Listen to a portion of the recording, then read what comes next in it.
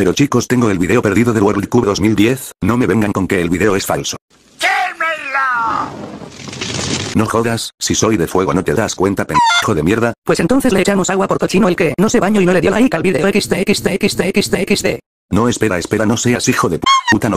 La tercera es la vencida. Y no estoy hablando de la guerra mundial. Mientras quieran escuchar mis enseñanzas, ya saben que yo me seguiré poniendo verga. Soy Cell, el youtuber más perfecto del universo 7. Macho pelo en pecho, peinado de papi chiludo, buen rostro, pito corto. Así que presta atención una vez más. Y recuerda. Ponte verga. Al fin. La espera finalmente ha terminado. El primer episodio de Campamento Desventura Todos Estrellas finalmente está con nosotros y es mi deber hacerle un análisis, y eso es precisamente lo que haremos en este video, así que sin más tiempo que perder comencemos. Bueno, primero que nada me da mucho gusto ver a Cristal de los presentadores de Desventura es mi favorita la verdad. Todo empieza con algo bastante curioso, ¿se acuerdan del leak falso? Pues en ese leak especulaba que la primera escena del episodio sería esa en la que Cristal toma su celular y empieza a llamar a todos los participantes, ya que, está a punto de comenzar la más grande y emocionante temporada de Campamento Desventura, así es como comienza Campamento Desventura. Todos Estrellas, metele la intro.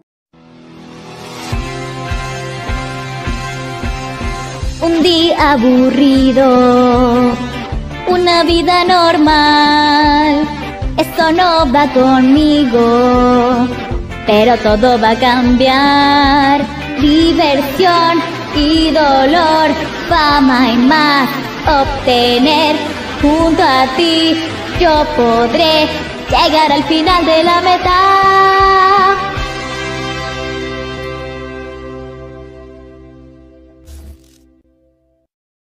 Tras eso pasamos a un aeropuerto donde Cristal esperaba a los primeros participantes, los cuales son Jake y Miriam, y vemos que Miriam está confiada en que se puede ganar otro milloncito, pero Jake muestra preocupación por Miriam, cosa entendible porque es como una abuela para él, y en el avión se ponen a hablar de eso. Lo de Jake y Miriam me alegro verlos y me da ternura ver cómo Jake se preocupa por Miriam y cómo han estado y lo de los papás de Jake me hace confirmar más que sus papás son homofóbicos y por eso su abuela era la única que lo entendía la verdad y si Miriam sabemos que puedes con todo pero porfa cuídate, no quiero que te vayas con San Pedro. La siguiente parada es con Hunter y Ali. Aquí vienen los tortolitos de la segunda temporada. Ali y Hunter. date prisa, Hunter. Vamos a llegar tarde. Eso es quedarse corto. Ustedes llegaron una hora tarde. Si vas tarde a un lugar, no te apresures. De todas formas vas a llegar tarde. Ponte verga. ¡Ay, rayos! Lo siento, Ali. Acabo de notar que olvidé el Nintendo Switch. ¿Qué? Pero te lo recordé justo antes de salir. Es que me distraje. Ahora, ¿qué haremos con nuestro tiempo libre? Les tengo buenas noticias. Los dispositivos electrónicos están prohibidos en el campamento. ¿En serio? ¿Por qué? Decidimos que los competidores no deben tener contacto con el mundo exterior hasta que termine el juego. ¡Wow! ¡Qué bueno que los olvidé! Aún así, a veces siento que me ignoras cuando te pido las cosas. Con Ali y Hunter pues confirmado, son pareja aunque parece que hay problemas en el paraíso, a saber qué pasará con esos dos. Si bien no me quiero poner de un lado, al menos y de momento siento que Ali está siendo un poquito demasiado dramática, digo, se enojó porque a Hunter se le olvidó empacar la Nintendo Switch, a menos que nos demuestren que Hunter en serio escucha muy poco a Ali, seguiré diciendo que Ali es bien dramática. Suben al avión y se encuentran con Jake y Miriam, al parecer se apoyaban mutuamente en sus respectivas temporadas y rápidamente se volvieron panas. Luego llega Tom, quien claramente hace enojar a Crystal por también haber llegado tarde. Y luego vemos que las cosas entre él, Miriam y Jake, están algo tensas con Tom y Jake, espero que en esta temporada estén bien, yo, no sé qué decir, de verdad me odio. Luego vemos a Ellie en el aeropuerto algo angustiada, siendo consolada por nuestra waifu de chocolate favorita, quien la anima y le dice que esta temporada les pertenece. Luego llega Tess, y se nota que como ella y Ellie estudian en la misma escuela, también se volvieron panas, lo que nos podría dar una trama interesante, pese a que esta interacción ocurrió fuera de cámara. Encantada de conocerte, Gaby. Ustedes hacen muy bonita pareja. No es común que algo bueno salga de un reality show. Y un momento, ¿acaso Tess dijo que Gaby y Ellie ya eran pareja? Al fin se cumplió mi sueño. Me sorprendió que él y Tess se conozcan, ¿no? Me lo esperaba y bueno, ella y Gaby son pareja confirmado. Sí, luego vemos el tan ansiado reencuentro entre Ali, Tess y Hunter. Me alegro el encuentro de Ali, Tess y Hunter fue súper bonito. Lástima que Ellie no tuvo la misma bienvenida, pero bueno, también se lo busco, ¿para qué quieres que te saluden cuando sabes que hiciste algo malo? Y les podría decir que hizo, pero mejor se los muestro.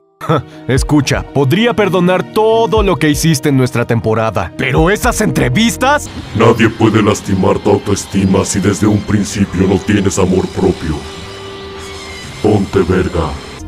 Vamos, chicos, ¿todavía están enojados por eso? Escuché que Tom todavía ignora las llamadas de Jake. ¿Puedes culparlo? Tratar con Jake debería contar como servicio comunitario. No es como que Tom sea mejor, quiero decir, el tipo es un idiota. ¿Quién va a un reality como espía? Miriam no merecía ganar. ¿Fingir tu propia muerte solo para probar mi simpatía? Está loca. Si eso sucede de nuevo, la dejaré ir hacia la luz. El equipo morado fue un desastre. ¿Cómo Ashley no vio a través de Fiore de inmediato? Alec y yo lo supimos desde el principio. Pero bueno, la chica vive en una granja de Texas. Solo diré que su inteligencia coincide con su estilo de vida. Gret es honestamente una, si no la peor, de las peores personas que he conocido. Escuché que cambió las cosas recientemente, pero no me lo creo. Alec le dijo a Fiore que deseaba que su hijo fuera más como ella. En primer lugar, Alec, tu estándar para los niños es alarmante. Y segundo, si fuera el hijo de Alec, nunca querría ver a mi padre de nuevo. O sea, pobre niño. Dijo eso en televisión internacional. No es el mejor ejemplo a seguir. ¿Y Eli, qué necesidad había de decir qué?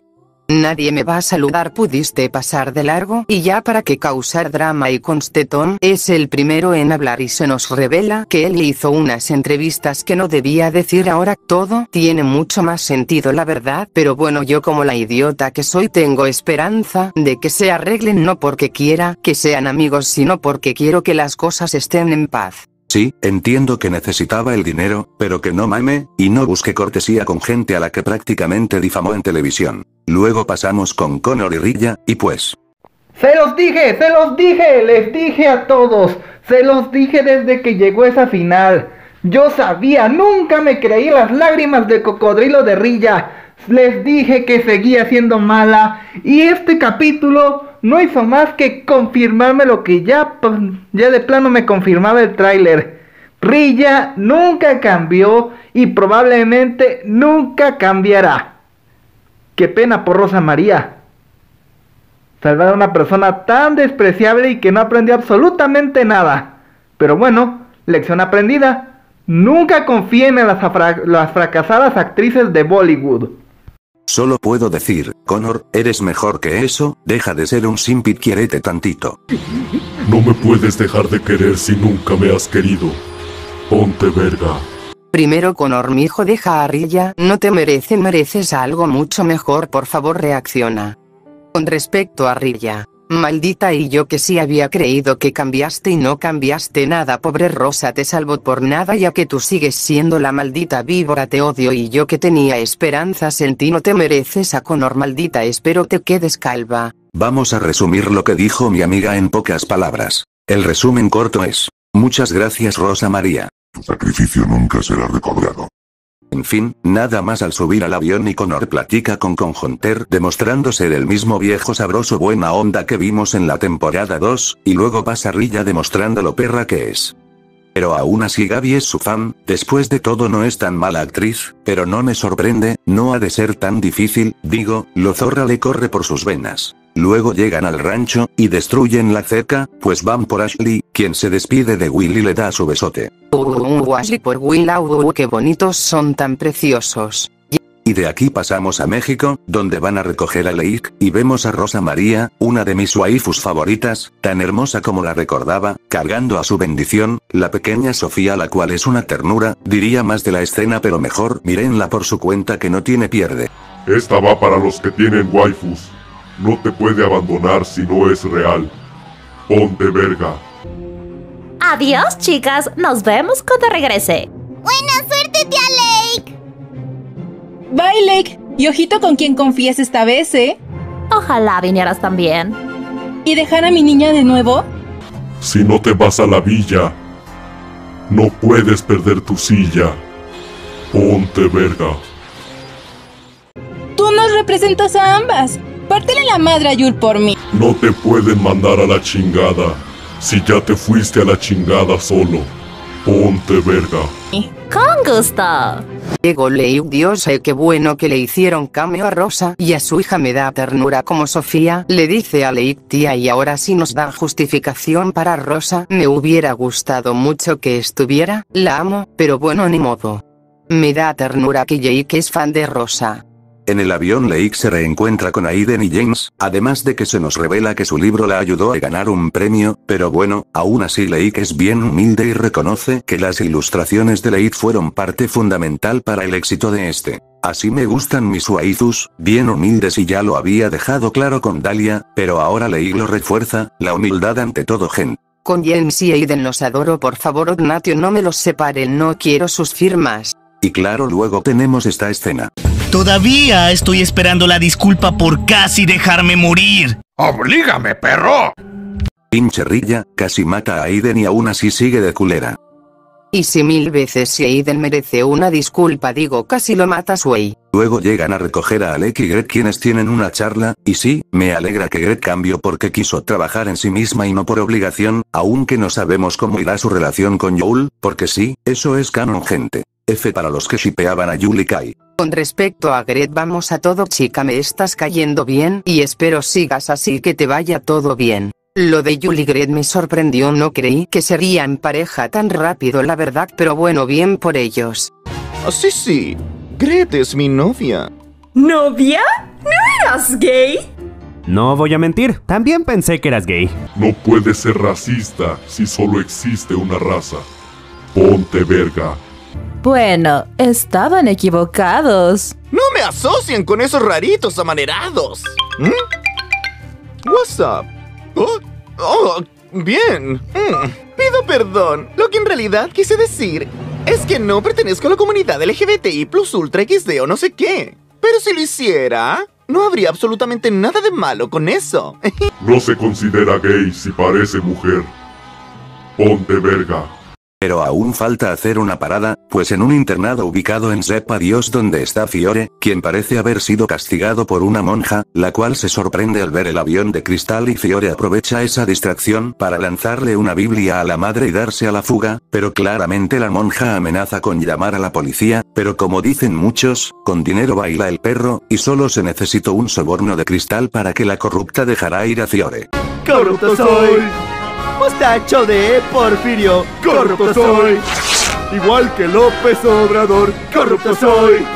Mi papá es Vicente Fox, el cual es presidente de México. ¡Eso es una niña! Y esa es una fea y granienta perra. Uh, eso tuvo que doler.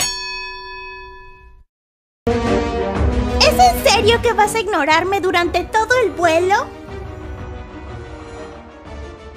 Ay, por favor, ¿de verdad estás enojado? Sabes que tú tienes la culpa de la mayoría de problemas que he tenido en los últimos dos años, ¿cierto? No tienes que culpar a nadie que no seas tú. Ajá, a Fiore la mandaron a un internado y pos Alex sigue reconorozo, me lo esperaba. Como ya estaba todo el elenco, y ya estaban a punto de llegar, Cristal les presenta al personal del equipo, siendo Marcus como el chofer y Nina también está de regreso. Oliver obtuvo su tan ansiado ascenso, y ahora es supervisor de los desafíos y quien controle a los pasantes. Sí, los pasantes ahora son Trevor y Derek, y si bien Derek se queja, Trevor le recuerda lo mierda que es la prisión y que no tienen mucha opción. Espero esta temporada me hagan canon el Derek por Trevor. Y bueno, hay algunas partes del episodio que omití intencionalmente del resumen, y es que hay un personaje que quería presentar en esta parte. Con ustedes el diablo en persona, ok no, pero la verdad es que Cristal trajo a Emily para explotar todo el drama que podía, y creo que sí lo van a lograr, pues todas las entrevistas que hizo Emily estuvieron llenas de drama. Total, llegan al campamento y Cristal los obliga a saltar, obviamente con paracaídas, y sin sus pertenencias, los participantes se quejan hasta que Cristal les dice que en esta temporada se compite por 3 millones de dólares. ¡Mucho dinero! Un que ahora será un concurso más extremo y con solo los suministros básicos para vivir, sin ninguna comodidad de la ciudad. Y al final así quedaron los equipos, dando fin a este episodio. Con respecto a los equipos, solo diré, ya no quiero nada, yo en serio estoy mal ya con esta serie y recién es el capítulo un tipo A, me odio me odio me odio odio será si no sé si podré soportar esta temporada y si lo me veo los capítulos son por mis colaboraciones con Hawking. Por favor no me juzguen yo en serio no sé qué hacer. Les puedo decir, si me gustó, pero solo es algo mínimo, pese a que nos revelan ciertos datos interesantes, algo me dice que esto solo va a ser una introducción a todo lo que se viene, que espero que sea bueno y no como especule, y pues como dije antes el episodio está chido, pero siento que fue muy poco pese a que dura media hora, esperemos que los próximos capítulos tengan un mejor tiempo. Pero esa fue mi opinión, pero ahora me gustaría saber tu opinión sobre este episodio, los estaré leyendo en la caja de los comentarios. No quisiera alarmarte, Goku, pero... Cell se está poniendo verga. ¡No puede ser!